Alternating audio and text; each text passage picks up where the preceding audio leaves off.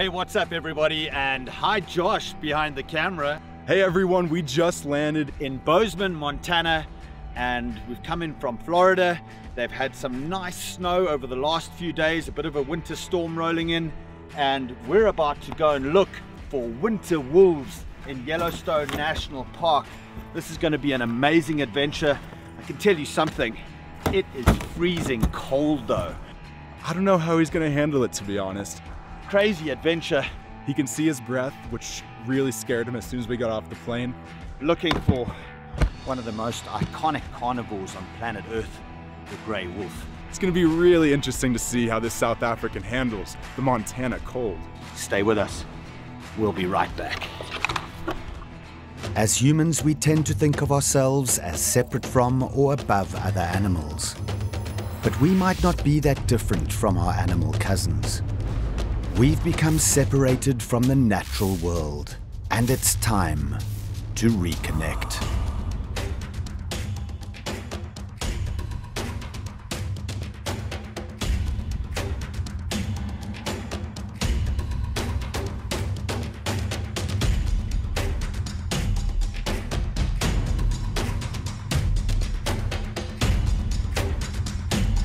This is a wild connection.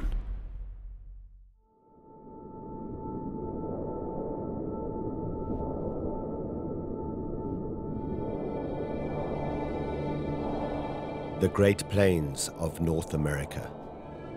Before Western settlers, the biodiversity of the savanna was rivaled only by Africa's Serengeti. Giant herds of buffalo one million strong, roamed freely. Hundreds of bird species filled the air with song. And the king of the valleys, the grey wolf, brought order to a complex ecosystem. This was a land of magic, a land whose underbelly rumbled with fury, a land described as a region for the damned, where darkness cannot die.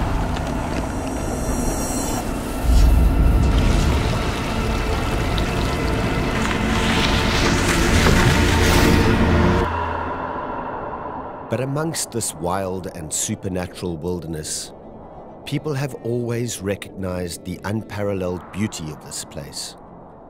And so the largest protected land program in the world was sparked within Yellowstone's caldera.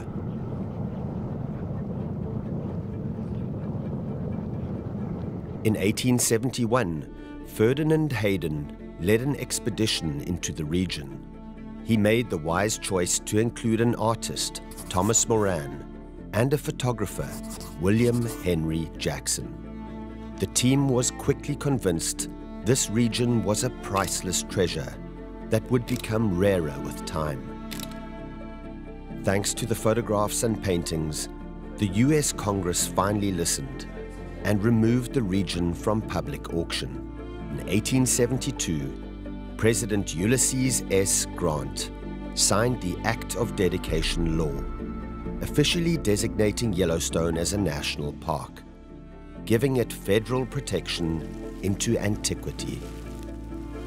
Though the land itself was protected, the wolves weren't so lucky. Thanks to government bounties and a mutual hatred by ranchers and hunters, the last viable wolf pack in Yellowstone was slaughtered in 1926. It would be nearly 70 years before they were seen again.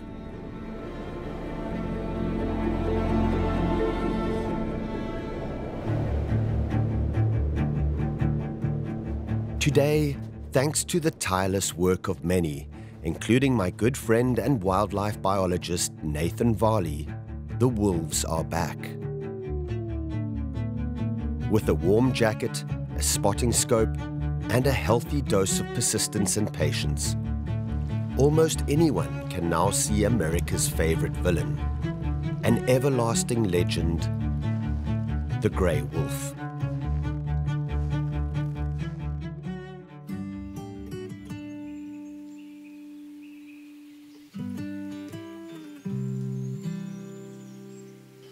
It's amazing when I look back that when I was growing up in the park, there were no wolves. Uh, there, there, were barely any grizzly bears. Grizzly bears were like a mythical creature. But without these top predators really being out there, and, uh, you know, I just thought they're not really here. They're not really part of Yellowstone. My name is Nathan Varley. I'm a wildlife biologist. I grew up in Yellowstone Park, which is a little bit unusual for, for most people, but uh, my father was a, was a fisheries biologist growing up. And uh, I got really interested in, in doing that kind of work, uh, you know, being involved with the natural world. Wolves have always had a certain fascination for me because they were not here initially. And what I knew about wolves was from books. So in the early years, there was a lot of excitement around being involved with the wolf recovery. And as a wildlife biologist, thought, well, this is this looks really fun. Maybe I'll get to stick around in Yellowstone and, and, and study wolves. And I recall the mid 90s when wolves were being restored to Yellowstone Park that a lot of the people that were coming to do that were wolf experts. They really knew a lot about this species and what they were all about, and, and I didn't.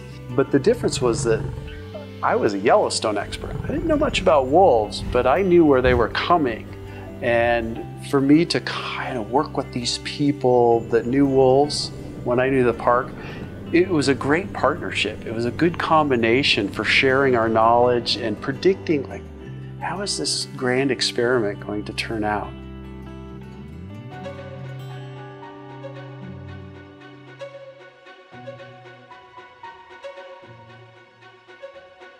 Midwinter in Yellowstone National Park, and we're on our quest for winter wolves.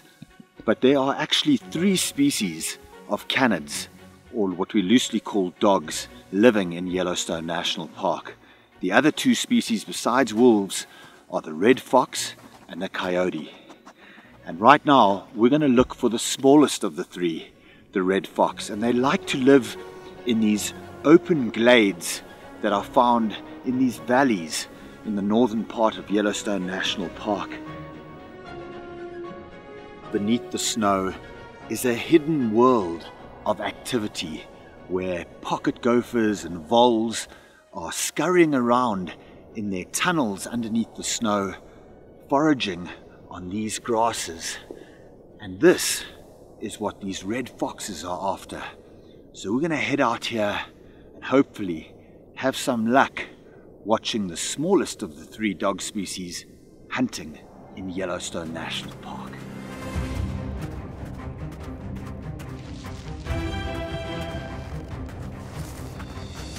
phenomenal hearing and a sensitive nose can detect the slightest activity deep below the surface. It looks like she's onto something.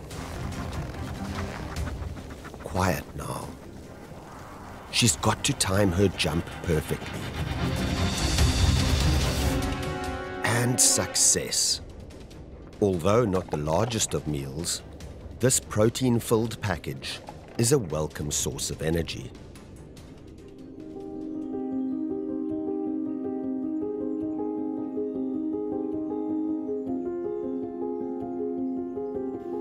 So, as a biologist, I think for me, the fascinating part of wolf restoration is how they affect the, the ecosystem as a whole, how wolves will affect the community now that they're here.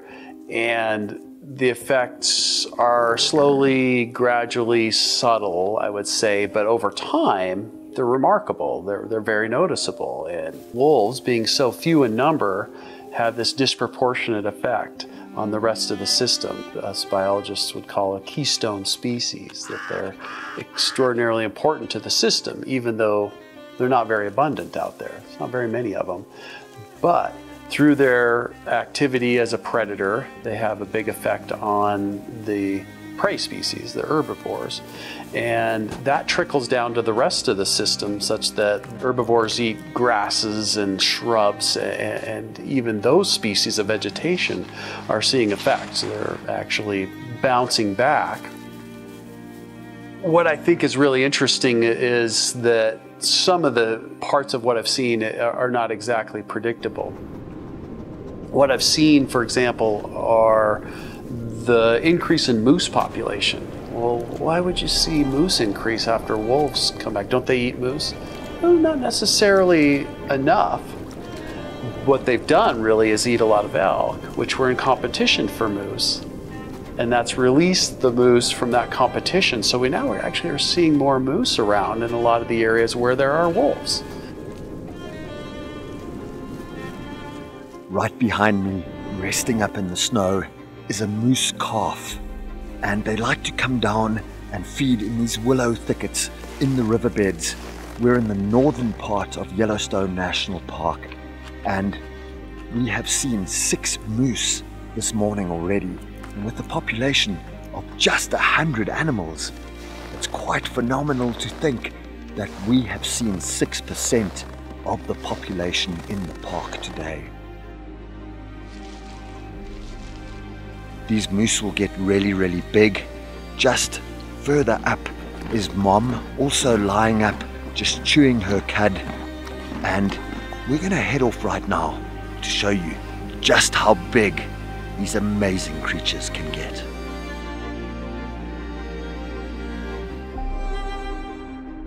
Moose might look goofy, but they are the largest deer species on Earth and the second largest land animal in North America.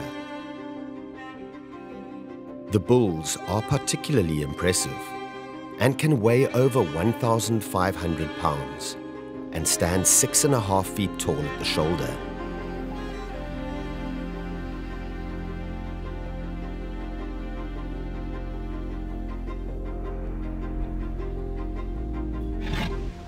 Winter can be a bone crushingly cold time to visit Yellowstone. Uh, the temperatures are often uh, sub zero Fahrenheit, so frigid. Uh, but if you're prepared, you bring the right gear, the right equipment, clothing, then uh, then it's doable, and, and, it's actually can be quite a, a memorable part of the experience.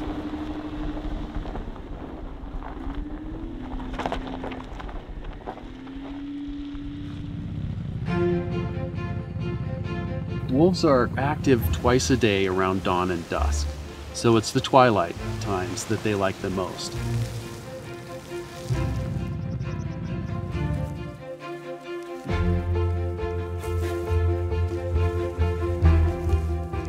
7 a.m., eerily quiet on this cold winter's morning. We're out with Nathan, the wolf tracker, and we found a whole set of wolf tracks right next to the road here. They're fairly fresh, sometime from last night or this morning. Come and look at the size of these tracks. This is incredible. Look at the size. I mean, that's my hand. And look at the size of that wolf track there. Look at that. Got a whole set, probably at least a dozen wolves here. Now, if you come with me, I'm going to show you where they've gone. They've been up along the road here. They've tracked up along this hillside over here. And there's a good chance that these wolves are over on the ridge line behind us here. So we're going to get the scopes. We're going to drive this road, pull out, and see if we can get the scopes set up on the, the ridge line up there. And hopefully, hopefully, we're going to get this pack of wolves. Gotcha. So we're both okay. looking in the same spot. Do you see what I'm saying? Um, just where the sun is, then there's the tree that go, tree line that goes up. Oh, that is gorgeous. So you've got the whole pack just sitting there.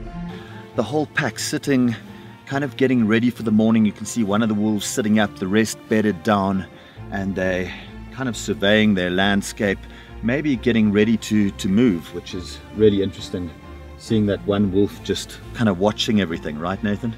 Right, right. It's often one wolf, usually an older one, that gets up and starts walking away, and you find that the rest of the pack just one by one follow along.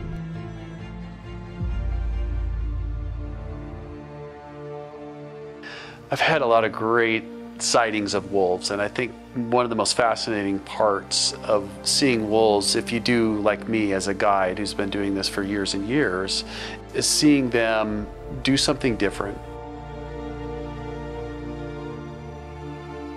One of the funnest things that we can see is wolves chasing other species.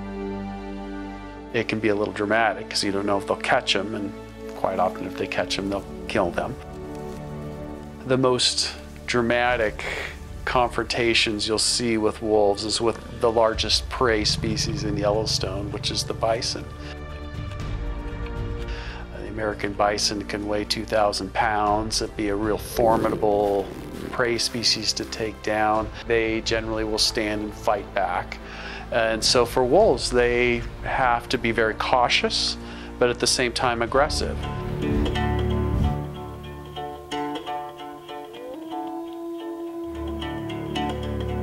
Imagine that difficult situation. But we had a great sighting a couple winters ago where we arrived first thing in the morning to find the wolves had an adult female bison basically cornered.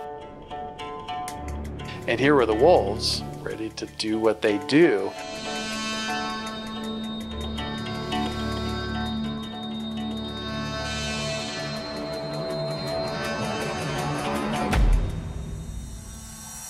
We watched this unfold over a matter of hours.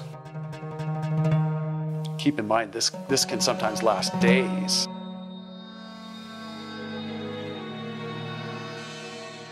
As the bison was trying to persevere, being sort of continually attacked by the wolves, they come in, surround, try to bite her, try not to get kicked or trampled or thrown in the air by this bison eventually, you know, they kind of overwhelmed this animal and were able to take her down.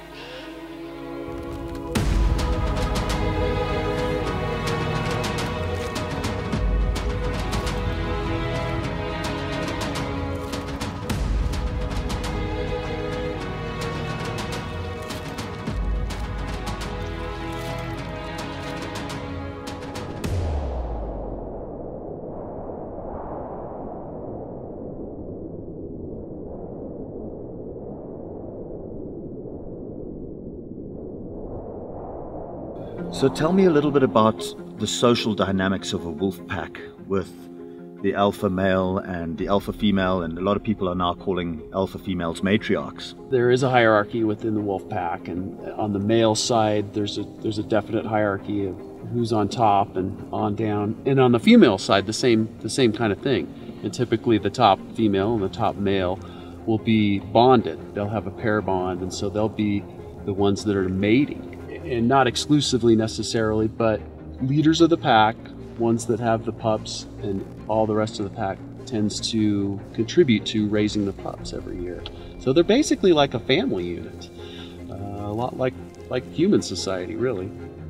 I always find it curious that you know we have our own domestic dogs as man's best friend, and the domestic dog has just been reclassified now as Canis lupus instead of Canis familiaris. Uh, used to be a separate species, and now we found that it is actually just a wolf that has been domesticated. And it's amazing that throughout history, wolves have kind of lurked on the subconsciousness of humankind, this evil, mysterious, wild being that needs to be exterminated from the landscape. And humans have done their very best over the years to get rid of wolves and exterminate them from our lives. And we've seen ourselves as, as civilized and the wolf as uncivilized. And yet, we bond with wolves on a daily basis. We have our dogs, man's best friend, and we've co evolved with wolves throughout our lives. And it always strikes me that that curious, really curious irony that we want to get rid of them, and yet they're our best friend at the same time.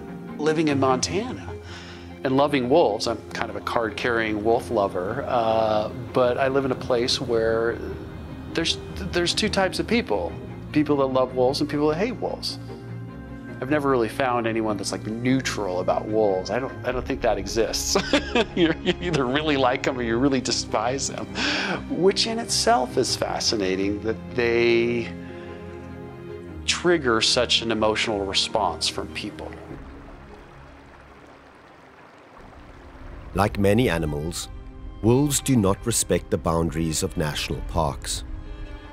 And when they wander outside, they face a different kind of human to the one that admires them from inside the borders. gone are the rules that protect them. Outside the park, wolves are fair game. Many well known research wolves have been killed by hunters when they wander outside. And herein lies the irony of our relationship with wolves. While it's obvious that there are two types of wolves wild wolves and domesticated wolves it's equally obvious that there are two types of humans those that want to protect wolves and those that want to exterminate them. And so when I bring people out to see wolves and they see them for the first time, I don't quite understand what they're expecting, but their impression is, well, they're just like dogs. Yes, they are. They are dogs. dogs are wolves. and I find that piece really fascinating because wolves are connected to us. And we may not know that until we finally see them for what they are. Seeing those wolves and learning from wolf expert and biologist Nathan Varley has made me see just how connected we really are to wolves and how similar they are to us. They live in these amazing family groups. They are so communicative too. They have this amazing language, just like we do as humans. And they definitely show emotion. There have been cases of wolves when one of their mates dies moving off and mourning or howling endlessly as though they're really mourning the loss of a loved one. And wolves have individual personalities just like us. It just goes to show that, you know, we are so connected to these amazing creatures. We've co evolved with our dogs, and yet we persecute wolves. And one has to ask the question why? If anything, seeing wolves here in Yellowstone has made me realize that these are not creatures to be feared or loathed. These are creatures that we need to cherish and safeguard for future generations.